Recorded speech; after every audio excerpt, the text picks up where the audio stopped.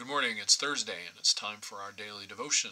Uh, today, our text is kind of, sort of a repeat of the uh, text we had early on Monday. This is uh, the ascension uh, in the Gospel of Luke. And Monday we read it from Acts. Same author, uh, part one, part two. We think of it Luke and Acts. Uh, but here's the here's the text from Luke 24, 44 through 53.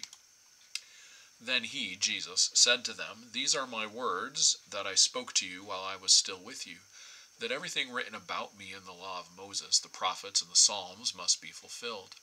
Then he opened their minds to understand the Scriptures. And he said to them, Thus it is written, that the Messiah is to suffer and rise from the dead on the third day, and that repentance and forgiveness of sins is to be proclaimed in his name to all nations, people groups, beginning from Jerusalem. You are witnesses of these things. And see, I am sending upon you what my Father promised. So stay here in the city until you have been clothed with power from on high. Then he led them out as far as Bethany, and lifting up his hands, he blessed them. While he was blessing them, he withdrew from them and was carried up into heaven.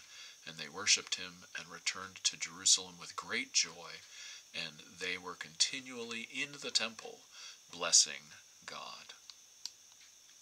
Song I have for this morning is called "One Is the Body." It's uh, uh, it's number 386 in the Voices Together hymnal. It's one of many songs that come out of the Iona community in Scotland. It goes like this. Ba ba bum. Uh, it's probably a little too high. Ba ba bum bum bum bum bum bum bum bum bum bum bum bum bum.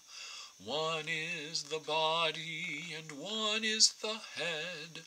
One is the Spirit by whom we are led.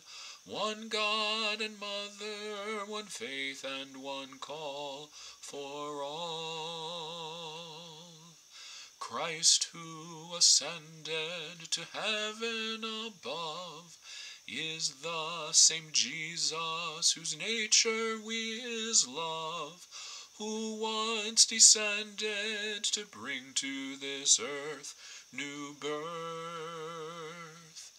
Gifts have been given, well suited to each, some to be prophets, to pastor or preach, some through the gospel to challenge, convert, and teach.